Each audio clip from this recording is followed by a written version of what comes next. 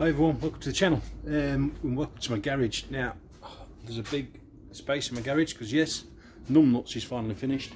Um, so next project's there ready to go.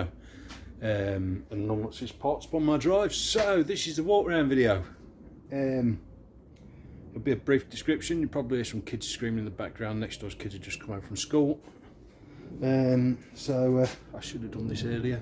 Might have been a bit better. It's an extremely hot day today. Um, wasn't expecting this at all, so a little bit sweaty. Glad I've had my haircut. Um, yeah, so I'll take you around there. Let's go and have a look, shall we?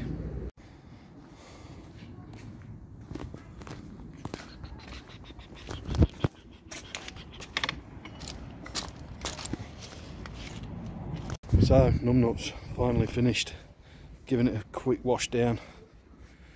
Uh, yeah, a brief, a brief looking, a brief going over it is, it's a complete bare chassis or a new chassis rebuilt.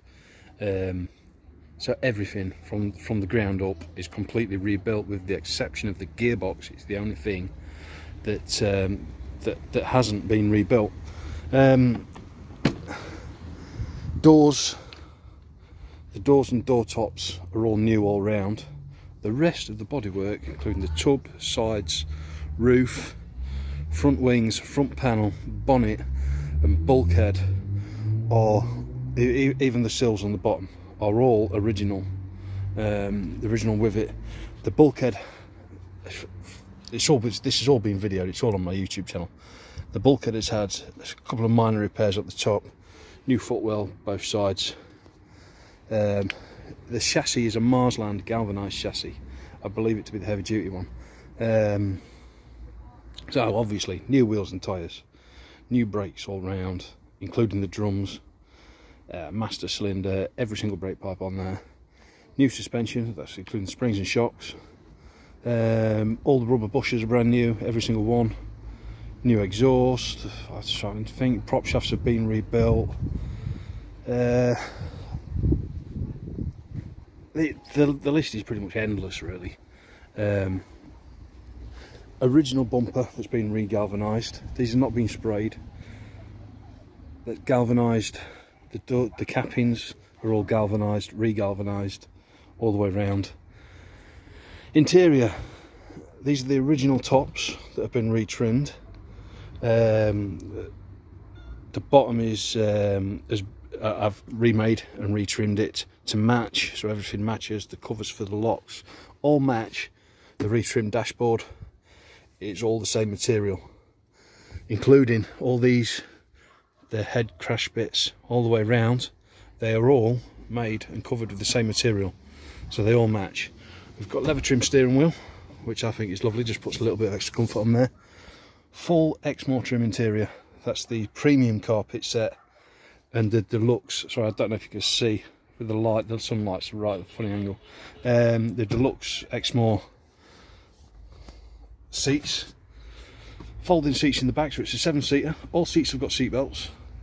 The front two have got the uh, inertia three points. Every uh, the passenger and the drivers. The backs obviously because they're sideways. They've only got the lap, belts as the as is the middle one. Gearbox is perfect. Absolutely perfect. Brand new clutch. Um, selects all the gears. It selects reverse with ease. And you see there's no body filler on this at all you can see all the original spot welds. There's absolutely no body filler on this on this vehicle at all. Um, that's why I replaced the doors. The um, the original doors that came with it were savable doors but they would have need needed a skimmer filler to make them right. And I thought I don't want to do it. I don't want to put any body filler in there. Body filler does not because that, the aluminium or the Birmabright panels are so flexible it, it, the, the body filler can just can come off. Uh, so you can you might see the odd little blemish here and there the odd little dent here and there should I say little car part dings nothing major but it is completely original. So as you can see I've had a bit of work on these top corners. Nothing too major. You can see it's not nothing too major. You can see the original spot welds are still there. It was just literally uh, if I remember rightly as a patch like that I'll have to go through the videos and double check it was just literally little patches here and there Hi everyone. yeah, this side's all pretty much the same. Uh, there's not a lot more to say really. Let's have a look in the back.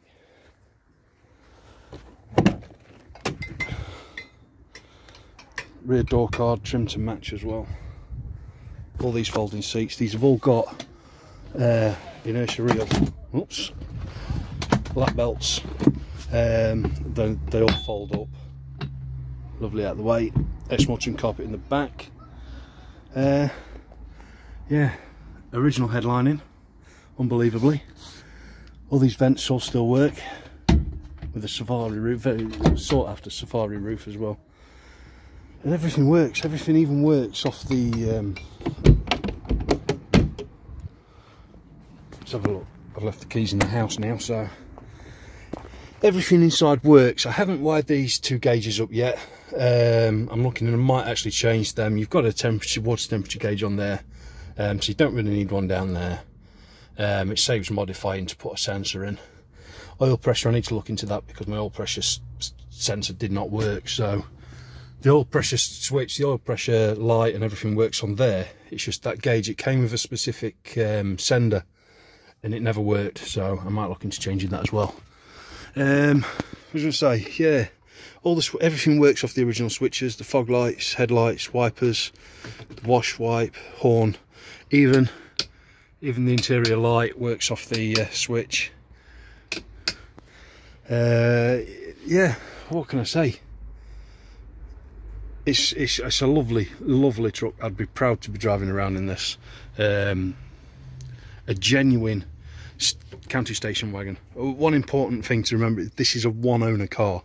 Um, although it does state two on the logbook it is actually a one owner car so I'll explain to that, that why in a minute. Right let me just pause you there and I'll um, I'll get the bonnet up. Right two and a quarter diesel lump completely rebuilt. Um, it does now need a bit of a clean down a bit of a wash um, maybe even touch up a paint here and there uh, but yeah completely rebuilt um, everything basically it's stripped down to a bare block. Um, like I said original bulkhead everything uh, everything that, that couldn't be refurbed has been replaced with new. Um, so everything else is pretty much original. But things like like the brake master cylinder and that obviously that's new. Um, the clutch master cylinder is new. All the pipe works new um, although it looks new that is the original heater matrix, the heater blower still down there. Even got the expansion to the uh, vacuum tank, sorry, for the brake servo. New radiator, new battery. Um,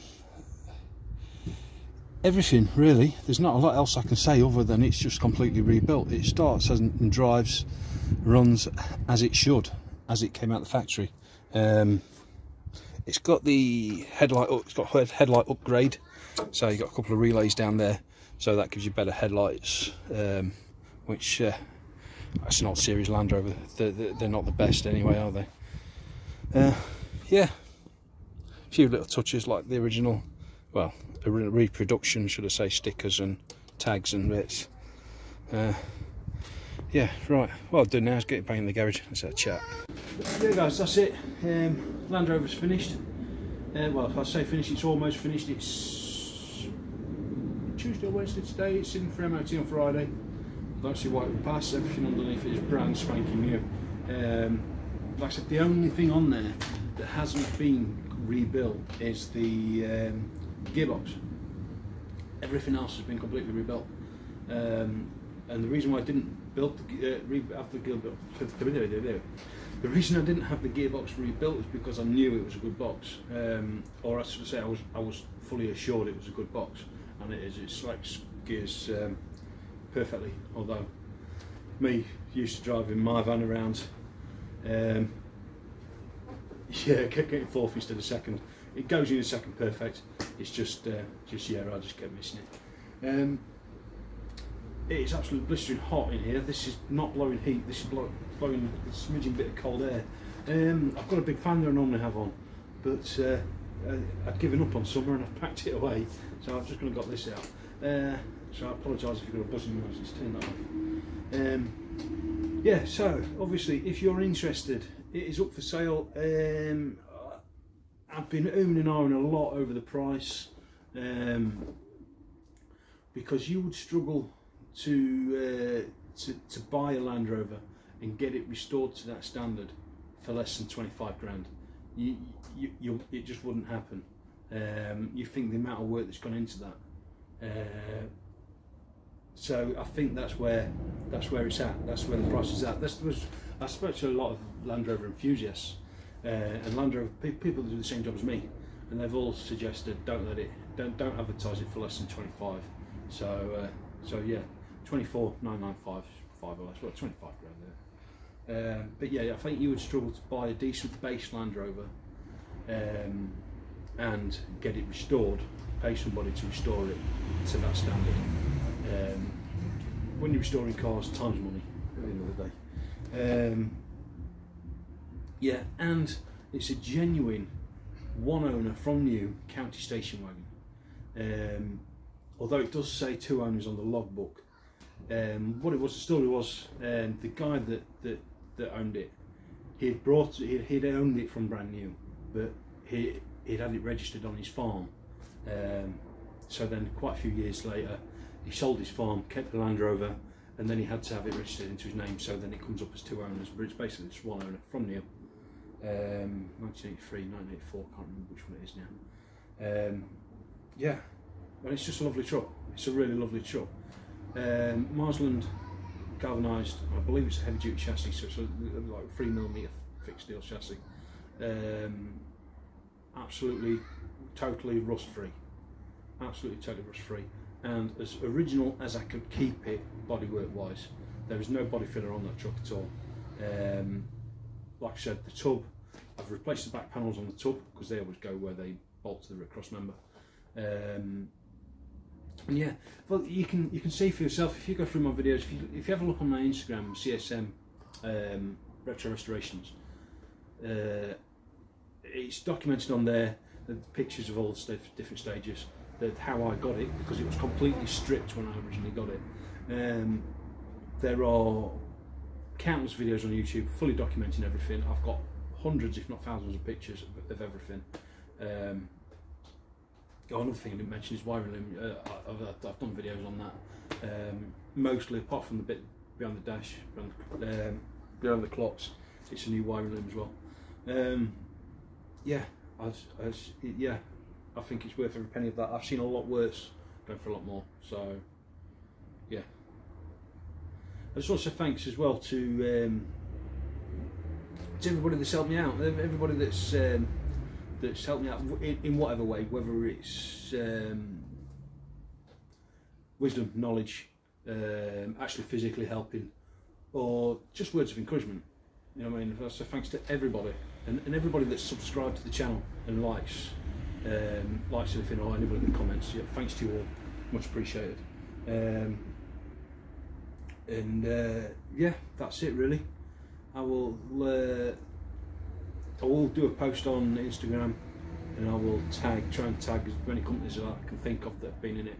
I know there's a few that, that aren't on Instagram like um, Specialist Component Services at Retford who do the fuel pumps and injectors and things. Um, high tensile bolts in workshop, they're um, supply with lots and lots of bolts and stuff like that, and a few small companies around like that. Um, yeah, to, to, be honest, it, it cost me a hell of a lot more if it went for these companies. So, uh, yeah, thanks everybody for watching. Don't forget to like, subscribe. There will be a lot more videos. This is the next project in the lineup currently, but things might change. I am in negotiations for a unit for a workshop. Um, that's all I'm going to say on that because I don't want to jinx myself. Um, but we'll see how that goes. Um, fingers crossed everything works out. But currently, that is the next project lineup. Um, I've also got to, if I can, I don't think you'll be able to see out there, you can see the back end of the T25 out there. I've got to pull the engine out of that. The engine runs alright, but it's pissing oil out between the gearbox and the um, uh, engine. I think whoever's put that engine in there has done a bit of a cowboy job, so I need to pull that out. But yeah, that's all for later videos. Thanks again, guys. I'll see you all soon. Take care. Look after yourselves. Bye bye.